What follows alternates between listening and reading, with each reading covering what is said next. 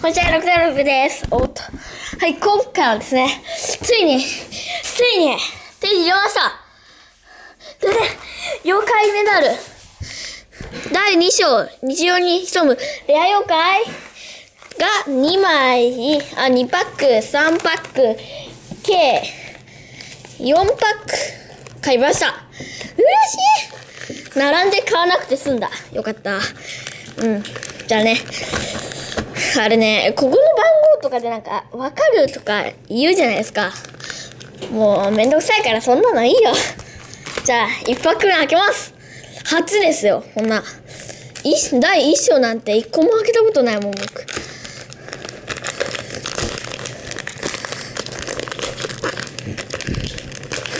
まずは、こんな感じの中に入ってる。あとは入ってません。これを開けるといいものが入ってます。後ろ向きます。どうですか？いきますよ、せーの、ドンほー生ハゲ、生ハゲ、生ハゲこれ多分ね、第2章は、金メダルが、あれ、多分なんか、ノーマル、なんか、もうキラキラしてないから、なんか多分、ホロメダルかな、これ。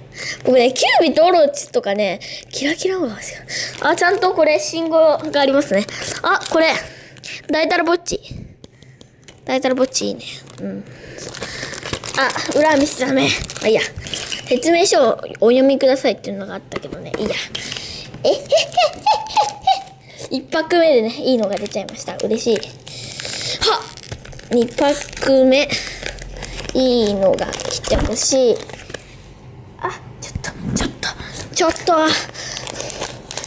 僕のプライバシーに関する。よし、2パック目。キュービかオロチ、お願いします。せーの、ドン。どうですか？キュービかオロチ出てますか？せーの、ドン。なんで後ろ ?QR コード見えちゃったじゃん。せーの、ドン。オロチ、オロチ、オロチ、オロチ、オロチ2パックでも、2, 2, か2パック目でオロチが出た。しかも勝負師うわ、どっちもかっこいい。あーおー、こりゃ、これは嬉しい。もう、キュービーが、キュービーが出てほしいけど、もうキュービーなくても満足。嬉しい。でもキュービー出てほしいな。キュービー。これ残り4パックですって言われて、残り買っちゃった全部。よーし。ちょっとね、ちょっと見て。ちょっと見て。よし、オッケー。裏は QR コードじゃない。はい、ドン。後ろ向きました。せーの、ドン。これ、キュービー出てますか？せーの、ドン。お、勝負師。あ、弁慶だった、弁慶だった。無駄遣い。よし、あと1パック。あと1つは、キュービーが出てほしいが、キュービー出るのか。まあ、ねえ、キュービー出てほしいな。キュービー、来い。ちょっと、出ないな。こう。よし。こっちに寄せて。とちらっと見て、QR コードじゃない。よし。後ろ向きました。これキュービ出てる？キュービ出てるかな？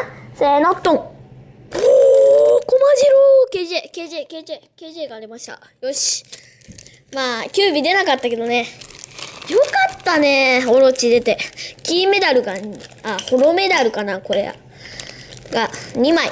で、ノーマルかキーどっちか、なんか多分あると思います。で、開けていきましょう。ました。全部開けました。で、なに、出た順に並べましたので、じゃあ見ていきましょう。まずは、生ハゲ。うおー、すごい。キラキラしてる。で、あー、おー、ちょっとバランスが崩しやすい。生ハゲ。次に、大太郎ぼっち。大太郎ぼっちいいね。なんか、コマさんの背景。で、ドンオロチ。いいね、オロチ。オロチ出たよ。で、勝負師。勝負師かっこいいね。こうやって、こんな感じ。こんな感じ。こうやってシャキーンって言ってる。かっこつけてる。で、弁慶。無駄遣い。こっちは多分ど、どっちもノーマルメダルだと思う。思われる。なんかついてる。なんかついてるの。これ。なんかついてた。